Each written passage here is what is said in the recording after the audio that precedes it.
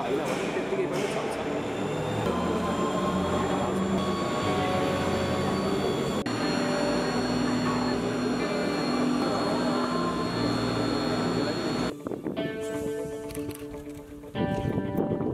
कान्छो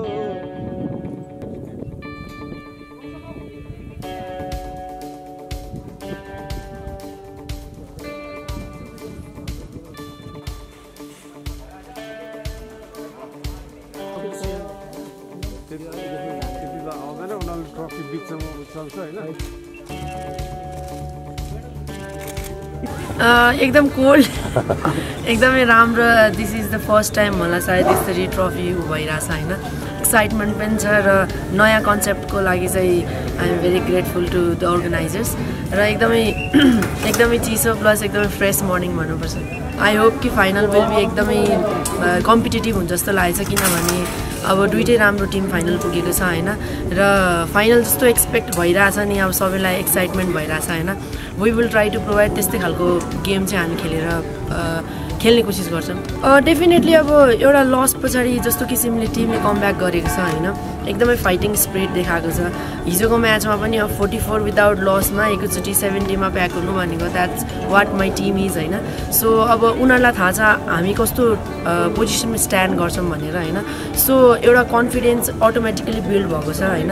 प्लस अब सबै टिममा एउटा हङ्गर हुन्छ कि जित्ने होइन? सो त्यही हङ्गर र अब हुन्छ नि त्यही किसिमको कन्फिडेन्सले चाहिँ हामी भोलिको म्याचलाई चाहिँ एउटा एउटा भाइटल म्याचको रूपमा चाहिँ लिइरहेछौँ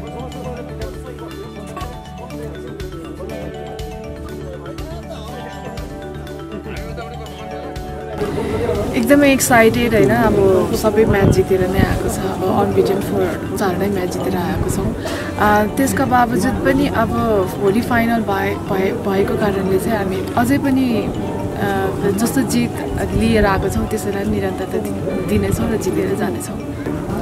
होइन उनीहरूको कन्फिडेन्ट एकदम राम्रो किनभने उहाँहरूले पनि हामीहरूसँगै हार्नु भएको तर पनि हामीले त्यसको बावजुद पनि हामीले आफ्नो आफ्नो टिमलाई अलिकति कन्फिडेन्ट बुस्टअप गरेर नै टिमहरूलाई अगाडि लानेछौँ र उहाँहरूको पनि जसरी उहाँहरूले गेम जित्दै आउनु भएको छ उहाँहरूको कन्फिडेन्ट पनि एकदम उत्तिकै उत्तिकै राम्रो छ।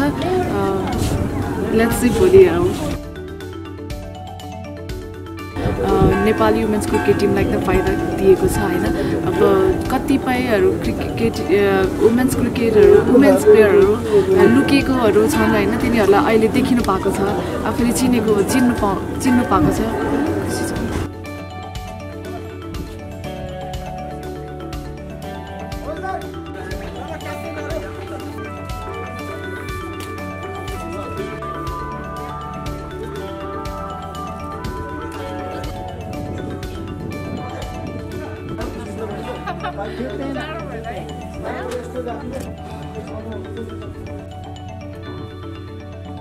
जस्तो छ सामान आएको क्या